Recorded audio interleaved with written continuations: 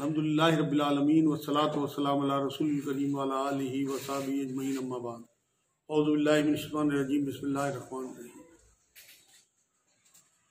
जो ईमान के बाद नंबर आता है इस्लाम के सतूनों में, वो सबसे पहले नमाज़ का नंबर आता है। सलाद कहते हैं इसे। कुरान में जगह जगह जो लफ्ज़ आया है, वो सलात है। और नमाज़ कायम करने का हुक्म है। कुरान में अल्लाह रब्बुल ने सूर्य निसा की 103 नंबर आयत में बात कही है कि मोमिनो, तुम पर मुकर वक्तों पर नमाज़ फ़र्ज़ करार दो। पाँच नमाजें जो अल्लाह के रसूल अलैहि वसल्लम को महराज में तोहफा मिला था। बुखारी, मुस्लिम दोनों में ये बात है कि पचास नमाजें अल्लाह रब्बुल इज़्ज़त ने दी थी। लेकिन जब मूसा सलाम ने कहा कि ये ज़्यादा है, तुम्हारी उम्मत इसे नहीं कर पाएगी तो हजूर सल्लल्लाहु अलैहि वसल्लम वापस गए। तीन चार चक्कर के बाद ये नमाजें पाँच हो गई। उसके बाद भी उन्होंने कहा कि ये नहीं पढ़ पाएँगी तुम्हारी उम्मत। तब हजूर वसल्लम ने बात फरमाई कि मुझे शर्म आती है अल्लाह के आगे जाते हैं। और अल्लाह ने वादा कर लिया कि वो मैं अगर मेरी उम्मत ने पचास नमाजें वक्त पे पढ़ दी, पाँच नमाजें तो उनका सवाब पचास का होगा। तो यहाँ ये बात ज़रूरी है कि मुकर वक्तों पे फ़र्ज़ है नमाज़, कुरान की आयत है। तो अगर कोई वक्त निकाल के नमाज़ पढ़ता है, कदर नमाजें पढ़ते हैं तो वो अल्लाह के यहाँ मकबूल नहीं होंगी क्योंकि ना हजूर वसल्लम ने कभी कदा नमाज़ पढ़ी ना साहबा ने ना साहबियात। ये हमारे माशरे में पता नहीं कहाँ से चलन आ गया कि लोग ये कहते हैं कि दस बजे तक नमाज़ का टाइम है और उठ के पढ़ लेंगे। फजर की नमाज़ अक्सर जो नमाजी हैं पहले ही न, एक तो नमाजी बहुत कम है। बहुत थोड़े से नमाजी हैं पूरी उम्मत। ज़्यादातर खाली जुमे के नमाजी हैं। उसके बाद जो पाँच वक्त नमाजी हैं वो भी अपने आप को कहते पाँच वक्त हैं हैं चार वक्त। क्योंकि नमाज़ कदा करके पढ़ते हैं फजर की। कदा कहते हैं किसी चीज़ कब जब कोई मर जाता है, क्या कहते हैं कि उसकी कदा आ गई थी? मतलब मुर्दा को अल्लाह अपने आप को हयुल कयूम कहते हैं, वो मुर्दा नमाजें नहीं लेंगे। कदा कोई तस्वुर इस्लाम में नहीं है। पूरी ज़िंदगी उठा के देख लें हजूर वसल्लम की। नमाज़ तो मेराज में फ़र्ज़ हुई, लेकिन हजूर पहले से नमाज़ें पढ़ते हैं, बहुत सारी रिवायतों से बात मिलती है कि हजूर भी, हज़रत अली भी और कुछ साहब भी नमाज़ें पढ़ते थे, हालाँकि जब तक फ़र्ज़ नहीं थी, लेकिन वो नफली या सुन्नत समझ लें, नमाज़ें पढ़ा करते थे। एक रिवायत में बात मिलती है कि एक बार हजूर वसल्लम हज़रत अली को जब अबू तालिब साहब ने नमाज़ पढ़ते हुए देखा, उसके बाद हज़रत अली ने कहा, अपने अब्बा हजूर से कि आप भी पढ़ें तो मैं मेरे बस का नहीं है काम कि मैं अपने खुले ऊपर करूँ। तो इससे, इस रिवायत से भी बात साबित होती है कि अभी महराज नहीं हुई थी। अबू तालिब साहब के बाद महराज हुई अबू तालिब साहब उस टाइम ज़िंदा थे, और ये उनके ज़माने की बात है कि हजूर वसल्लम ने नमाज़ शुरू कर दी थी। और साहबा ने भी। खैर तो नमाज़ जो फ़र्ज़ हुई है महराज में, उसके बाद जो नमाज़ कोई ख़ज़ा करता है तो आप यकीन करें वो नमाजें अल्लाह तक नहीं पहुँच रही। क्योंकि अल्लाह रबुल्ज़त ने अपने रसूल के ज़रिए ये बात भी कहलवाई है कि कुछ नमाजें ऐसी हैं, बाद नमाजें कि जो तुम्हारे मुँह पे मैले कुचैले कपड़े की तरह दे के मार दी जाएँगी। हो सकता है वो अधूरी नमाजें हों। जो अल्लाह हयुल्क़यूम अपने आप को कहता है, वो आपकी मुर्दा नमाजें नहीं लेगा। कोई मजबूरी नमाज़ के बीच में हायल नहीं होती सिवाय बेहोशी और दीवानगी के। हर आकिल और बालिक पे नमाज़ फ़र्ज़ है, हर हाल में फ़र्ज़ है। बीमारी हो, सफ़र हो, जंग हो, शादी हो मतलब कोई भी मामला आपका हो, उसमें अगर आप नमाज़ छोड़ते हैं तो आप यकीन करें वो नमाज़ लानत के वो आपका तकरीब, वो आपकी बीमारी, वो आपका सफ़र लानत के काबिल है। ये इस बात से साबित है कि हजूर वसल्लम की पूरी ज़िंदगी में दो या तीन नमाजें ख़त्म हुई हैं एक बार तो जंगे तबूक के मौके पे, या जंग एजाब के मौके पे हजूर वसल्लम काफिरों का पीछे करते हुए बहुत दूर तक जंगल में निकल गए। तो हजूर वसल्लम की असर कदा हुई और मगरब भी कदा हुई, कुछ रिवायत हुई है। और जब हजूर को याद आया, पढ़ने भूल गए नमाज़ तो एकदम चौंके। और ये बात कही कि मेरी तो नमाज़ कदा हो गई और फिर ये बात कही कि लानत हो इन काफिरों पर जिनकी वजह से मेरी नमाज़ कदा हुई फिर नमाज़ पढ़ी खैर हो और एक बार सफ़र से आते हुए सोते रह गए जो मैंने आपको अक्सर बताया, फजर की नमाज़ कदा हो गई थी। तमाम साहबा की तो वसल्लम की जब आँख खुली तो फ़ौर कदा पढ़ने का हुक्म दिया, उसने सुन्नतें भी कदा पढ़वाई और फ़र्ज़ हुई। ये दो नमाजें हैं, ये भी मेरे ख्याल में जो मुझे अपने इल्म के हिसाब से लगता है कि अल्लाह की तरफ़ से एक रुख्सत थी, एक तोहफा था उम्मत के लिए कि कभी किसी की इन वजहों से नमाज़ निकल जाए तो उसे गिल्टी ना हो कि मेरी नमाज़ निकले और वो कर्ज ये अदा कर दे कर्ज ये कदा पढ़ के। तो ये सिर्फ़ दो नमाजें हैं हजूर वसल्लम की और साहबा की जो मिलती हैं। और कभी साहबा ने इस तरह से नमाजें कदा नहीं की, जो हमारे यहाँ कदाए उम्री का सिलसिला है, बड़े बुज़ुर्ग हमारे बताते हैं, मेरी समझ में आता है कहाँ से निकाल के लाए। मतलब खुद साख्ता दीन का हिस्सा है। मेरे नज़दीक तो हजूर ने कभी इस तरह मिला के कई कई दिन की, कई कई साल की नमाजें नहीं पढ़ी कि किसी नमाज़ के साथ जोड़ दिया, कर दिया। या साहबा ने पढ़ी, उस तरह चालीस साल की नमाज़ या बीस साल की नमाज़। कभी नहीं ऐसा हुआ।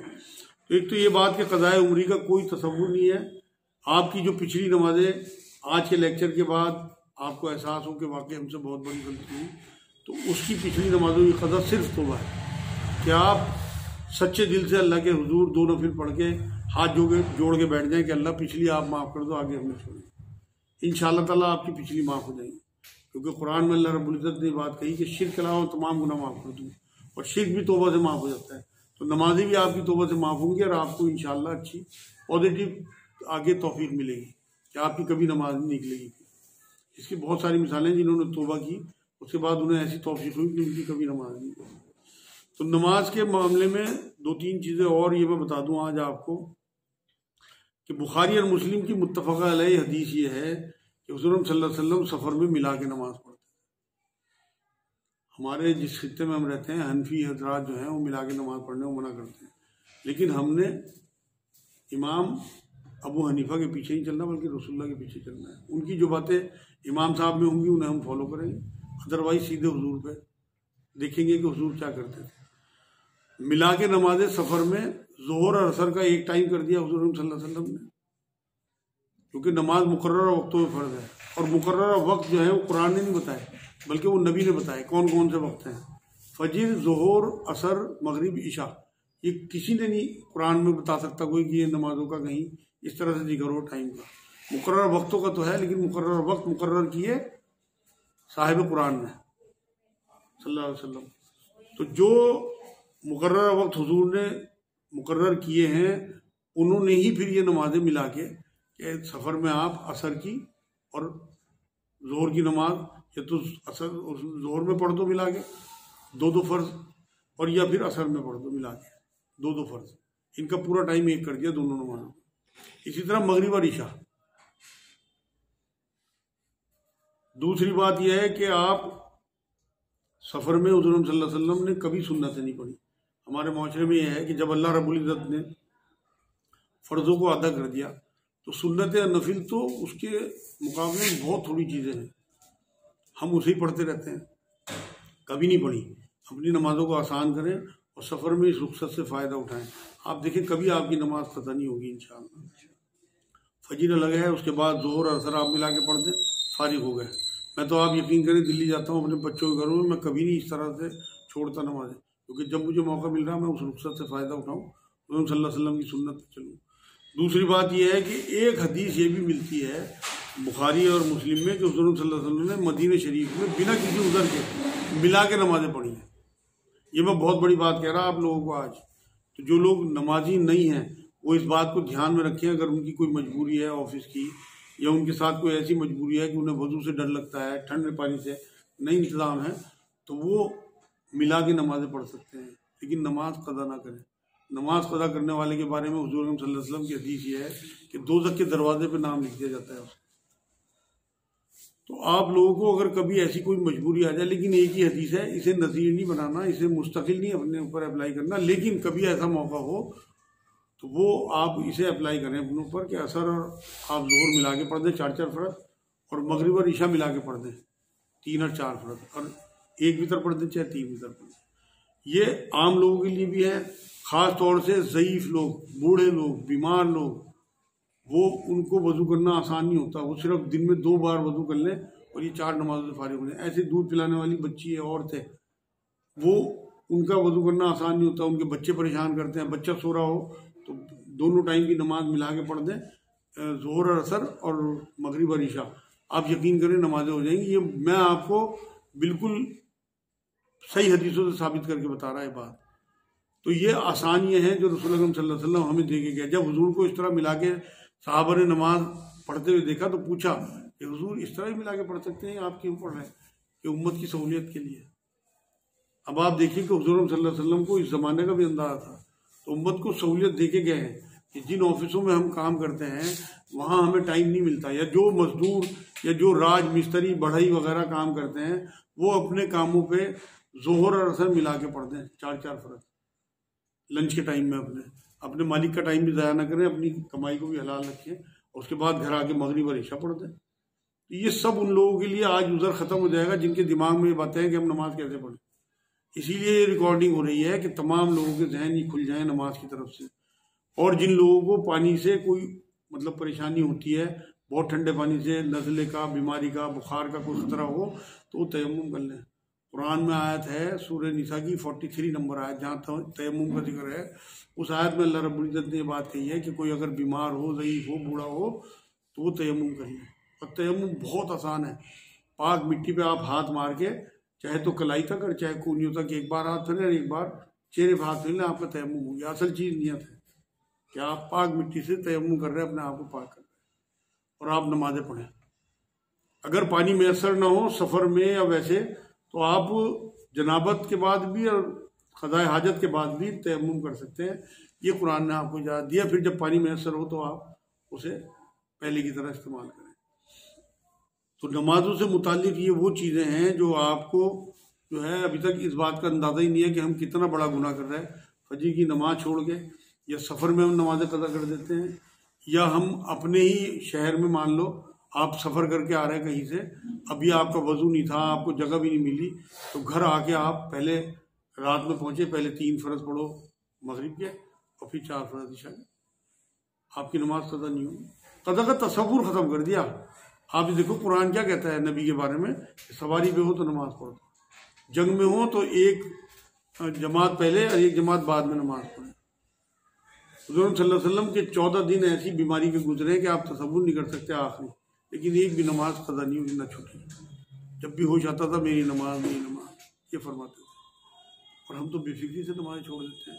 वो जो मैंने आपको जंग अहजाब का बताया है, आप यकीन करें, उस हदीस को सुनने के बाद से ये कंफर्म हो गया था कि हमारी हर वो चीज़, जिसकी वजह से हमारी नमाज़ कदा हो, चाहे हमारी वालदा की फौत की हो, चाहे हमारे वालिद की फौत की हो, चाहे हमारे यहाँ बच्चे का होना हो, चाहे हमारे यहाँ तकरीब हो, चाहे हमारा सफ़र हो, चाहे हमारी बीमारी हो, वो लानत के काबिल है। अगर हम नमाज़ निकालते हैं उसमें। तो आज से आज आप लोग जितने भी हम यहाँ इकट्ठे हैं, इस बात को प्रोपोगेट भी करें। कोई अगर सवाल करे, अगर आपसे कोई वो करे, बहस करे तो आप मेरे पास जाओ। लेकिन आप उससे तय करो कि भाई आप आगे के लिए तय करोगे, मामला कि आप मिला के नमाजें पढ़ोगे। हम सबूत दे देंगे आपको। मेरे पास सारे सबूत हैं। बहस नहीं करनी। अगर कोई अटके, तब उसे यहाँ ले आओ। मैं आपको सबूत दे दूँगा आप लोगों को इन सब। तो नमाजों के मामले में बहुत मोहतात रहना है, क्योंकि एक हदीस ये मिलती है कि ईमान और कुफ्र में फ़र्क करने वाली चीज़ नमाज़ है। आप ये देखें कि नमाज़ का मामला ऐसा है कि हजूर वसल्लम ने बात फरमाई कि मोमिन की महराज है। महराज कहते हैं उम्मीद को। जैसे हजूर वसल्लम को अल्लाह ने महराज कराई एक मोमिन को अल्लाह के रसूल ये तोहफा दे के गए हैं कि उसकी महराज नमाज़ है। कि आप अपनी वक्त पे नमाजें पढ़ते हो तो लाजमी आपको अल्लाह की तरफ़ से महराज हासिल होती है। और ये इस हदीस से भी साबित है बात कि नमाज़ हम फ़र्ज़ फ़र्ज़ पढ़ सकते हैं कि एक बद्दू आए हजूर सल्लल्लाहु अलैहि वसल्लम के पास। और आके दीन के बारे में पूछा कि, हुजूर, मैं चाहता हूँ कि मैं कोई बख्शिश के लिए ऐसी चीज़ बता दें कि मेरा आसान हो जाए आखिर तमाम तो हजूर सल्लल्लाहु अलैहि वसल्लम ने बात फरमाई कि कलमा पढ़ने के बाद पाँच नमाजें, तीस रोज़े और जक़ात, जब तक हज फ़र्ज़ नहीं हुई थी हजूर बस, कि हजूर नमाजें कि फ़र्ज़ पर कि हजूर ना मैं इससे ज़्यादा करूँगा, ना इससे कम। तो ये कह के वो चले तो हजूर वसल्लम ने साहबा से बात कही कि अगर ये अपनी ज़बान पर कायम रहा तो ये जन्नत ही है। सुन्नत नफिल एक ही असलाहत है। नफलों को ही सुन्नत कहा जाता है, क्योंकि हजूर वसल्लम ने सुन जिस चीज़ को कर लिया, वो सुन्नत हो गई। वरना सिर्फ़ फ़र्ज़ और नफिल। दो ही चीज़ें हैं इस्लाम में। और ये आपके लिए कतई ज़रूरी नहीं है। तो बहुत बड़ी बात मैं कह रहा हूँ आपको। आपसे नमाज़ की फर्जियत का हिसाब होगा। सुन्नतों का हिसाब नहीं होगा। सुन्नतें आपको दर्ज बुलंदी के लिए हैं। सुन्नतें छोड़नी नहीं चाहिए। लेकिन अगर आपकी सुन्नतें छूट जाती हैं तो आपसे कोई हिसाब अगर आपके फ़र्ज़ छूट जाते हैं तो आपसे सख्त हिसाब तोहीद को अपनी कायम रखो, फ़र्ज़ों को अपने दांतों से पकड़ के रखो। अगर जो लोग अरब में रहे हुए हैं या गए हुए हैं, उन्हें पता है कि वो लोग तोहीद के कितने पाबंद हैं और अपनी फ़र्ज़ों को किस तरह पकड़ के रखते हैं। तो इसलिए चाहे वितर हो और चाहे सुन्नतें हों, कोई सी भी, वो फ़र्ज़ों के आगे कोई मायने नहीं रखती। दस लाख सुन्नतें एक फ़र्ज़ का मुकाबला नहीं कर सकती। ये बहुत बड़ी बात बता रहा हूँ मैं आप लोग हमारे यहाँ सुन्नतों में बहुत ज़ोर है, नफलों में बहुत ज़ोर है। फ़र्ज़ों को पकड़ो फ़र्ज़। अब आप हजूर की हदीसों पर आ जाओ। हजूर वसल्लम ने क्या बात फरमाई कि फ़र्ज़ नमाजों के बाद सबसे अहम तरीन नमाज़ फजर की सुन्नत है और ईशा के भीतर है। खुद ही फरमा दिया कि अगर तुम और छोड़ भी दोगे तो कोई फ़र्क नहीं पड़ेगा। इन्हें ना छोड़ना। इनकी कदा भी करते थे हजूर। ताजुद की नमाज़ हजूर पर फ़र्ज़ थी, हमारे पर फ़र्ज़ नहीं। हजूर ताजुद की भी कदा किया। तो इसलिए कभी अगर आपको जल्दी है, बीमारी है नहीं तबीयत चाह रही, नहीं दिल लग रहा नमाज़ में तो आप फ़र्ज़ फ़र्ज़ पढ़ दो कम से कम पकड़ से बच जाओ गुना से बच जाओ, अल्लाह के वास्ते। कोई बहाना दे दो अल्लाह को बख्शिश का। अल्लाह काफिरों के आगे ये तो कह सके कि नमाजी थे। नमाज़ जो है वो ईमान और कुफ में फ़र्ज़ करने वाली चीज़ है। तो इसलिए किसी भी कीमत पे आपने नमाज़ नहीं छोड़नी। हालाँकि सुन्नतों के बारे में हजरम वसल्लम की हदीस है जिसने बारह रकातें पढ़ दी, इंशाल्लाह वो बिशारत है जन्नत की। बारह रकातें यही हैं। सुबह की दो, जहर की छः फिर मगरिब की दो और फिर ईशा की दो। ये बारह रकात बनती है सुन्नतों की ईशा में हमारे उलमाए दीन ने हमें सत्रह रकातें बता रखी और टोटल रकत ही सत्रह है।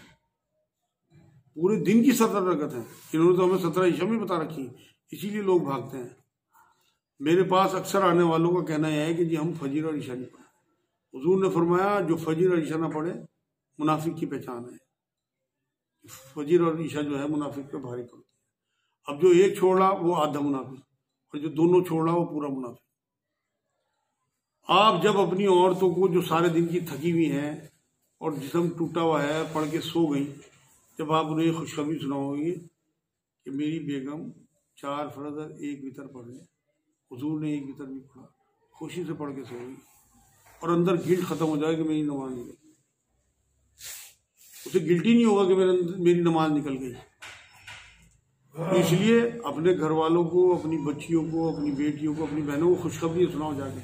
हजूर ने यही फरमाया, जब कभी किसी को गवर्नर बना के भेजते किसी इस्लामी ममलिकत का तो ये फरमाते कि वहाँ जाके लोगों को तंबिया ना करना, परेशानियों में ना डालना, बल्कि उन्हें खुशखबरी सुनाना। ये आज का हमारा जो मौजू है, ये खुशखबरी सुनाने का है। ये नमाज़ से मुतल खुशखबरी है कि हम नमाज़ को आसान करने वाले बने वसल्लम की मंशा को समझो। हजूर ने हमें नमाज़ एक तोहफे के तौर पर दी है, अल्लाह ने हजूर को और हजूर ने हमें। पाँच वक्त की आप फ़र्ज़ नमाजें वक्त पे पढ़ दो, मैं अल्लाह की कसम खा के कह रहा आपको पचास नमाजों से क्योंकि मेरे आका ने फरमाया। पाँच नमाजें आप वक्त पे पढ़ दो। और आप ये देखो कि आपको मिलता क्या है? कैसी नूरानियत और कैसी रूहानियत। सिर्फ़ पाँच नमाजों से आपका दीन मुकम्मल हो जाएगा, आपका ईमान मुकम्मल हो जाएगा। आपसे वज़ू नहीं हो रहा। आप देखो, अल्लाह ने हमें पैदा किया। उसे हमारी कमज़ोरी है, हमारी मजबूरी सब पता थी। उसने तयमू की आयतें उतार दी। साहब ग्राम रश किया करते थे, हज़रत सिद्दीक रज़ी तु की फैमिली पे। क्योंकि तयमू की आयत जब उतरी ना तो वो एक हार खोया गया था, हज़रत आयशा रज़ी तला का।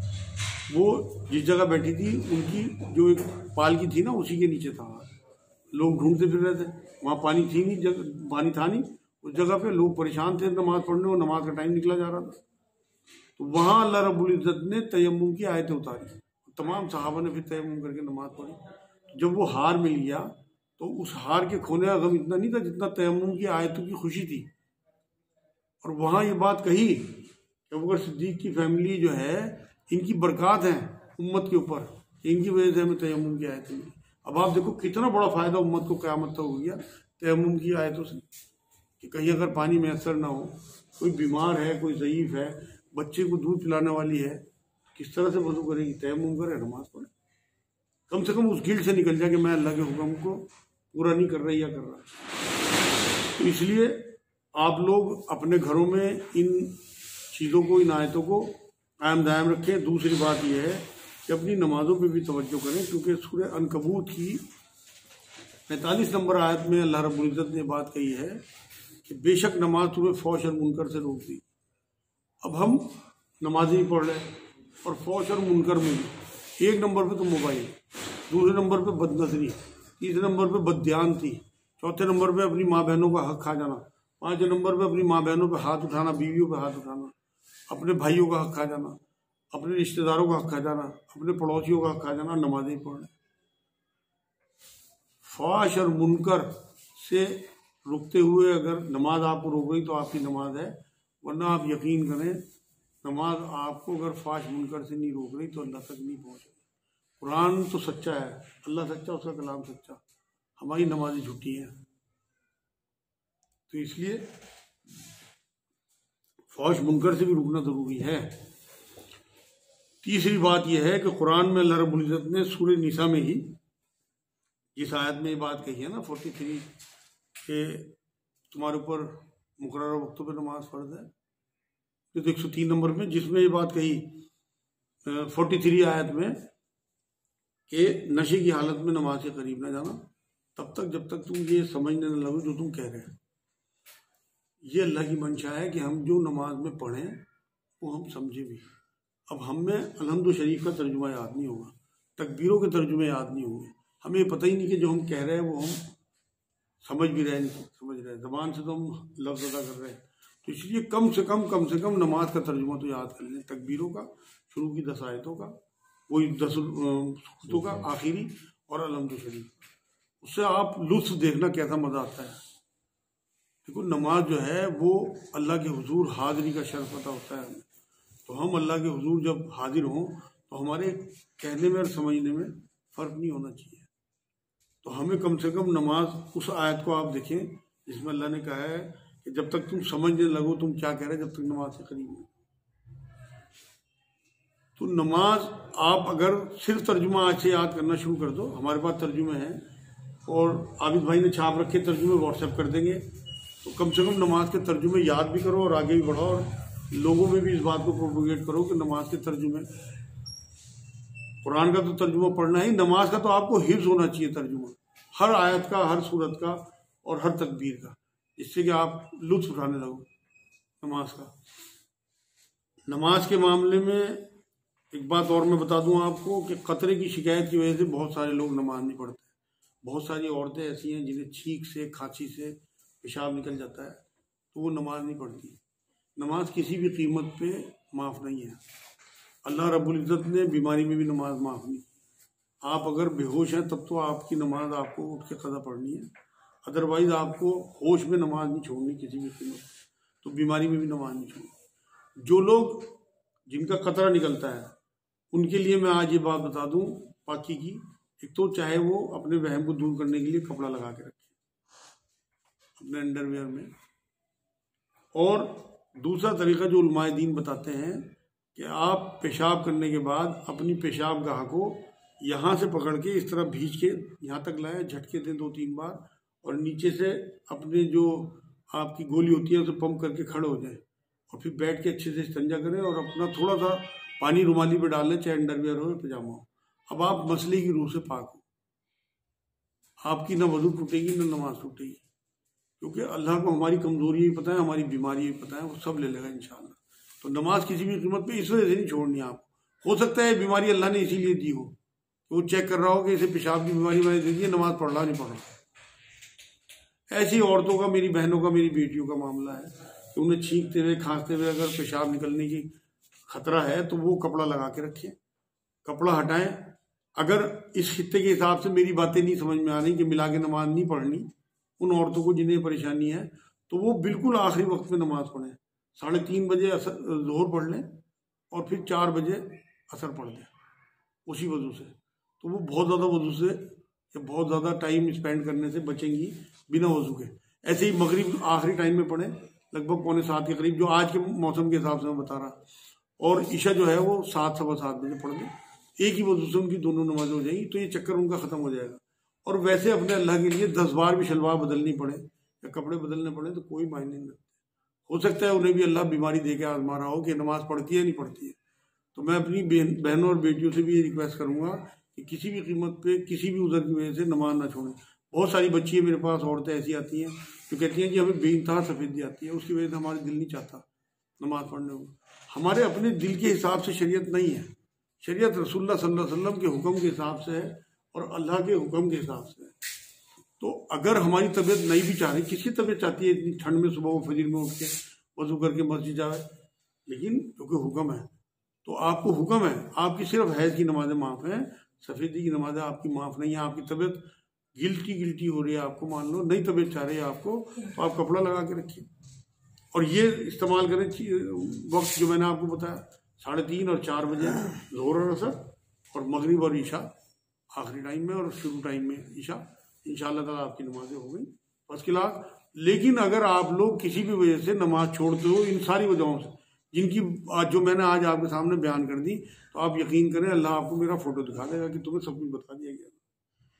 तो इसलिए हम हों या जो लोग और सुन रहे हैं, वीडियो ये, वो सब अपनी नमाजों को बिल्कुल ध्यान रखें इस बात का कि हमने दांतों से पकड़ के रखनी है, फ़र्ज़ नमाजों को किसी कीमत पर नहीं छोड़नी।